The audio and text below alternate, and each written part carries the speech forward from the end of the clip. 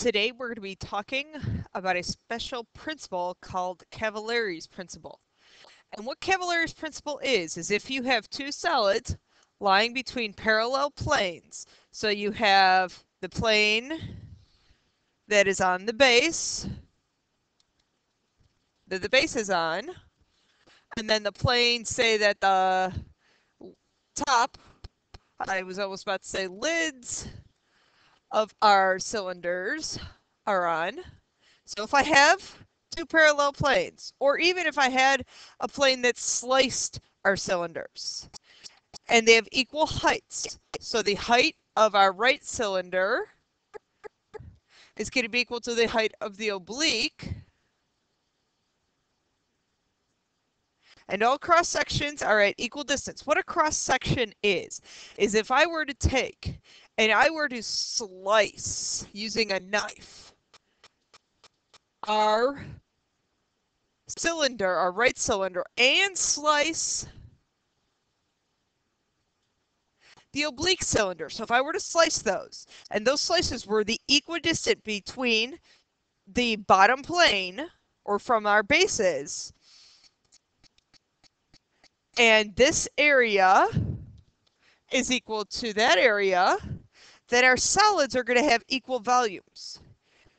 So basically what we have is if you can say that the base area of a cylinder, a right cylinder, and the base area of an oblique cylinder are equal, and the two heights are equal, then I can use the formulas that I've given you to find volumes, not to find surface area, but just to find volumes. So our first example, we have an oblique cylinder now, where the volume, find the volume of a cylinder, where the height is 16, and the diameter of the base, so that whole distance is 10, so our radius is just 5. Well, we know volume is area of the base times the height,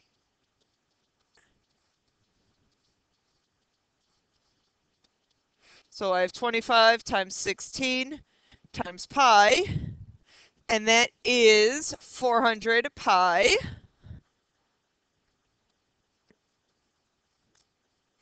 And our units are centimeters cubed. Example. Find the volume of the pentagonal prism given the base has an area of 108 and we need to find the height because it's going to be, our volume is going to be area of the base times our height. Well, we know the area of the base is 108. Now I need to find the height, and that's a little bit of work.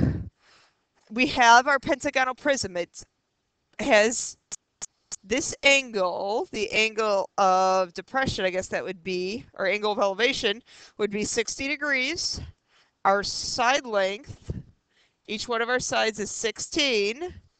So we have to find H in that right triangle.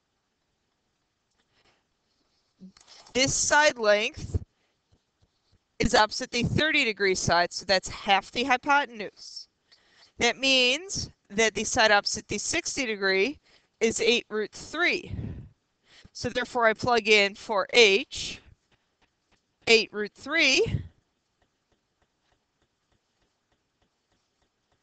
And now all you have to do is multiply the 108 and the 8 together, and that's 864 root 3.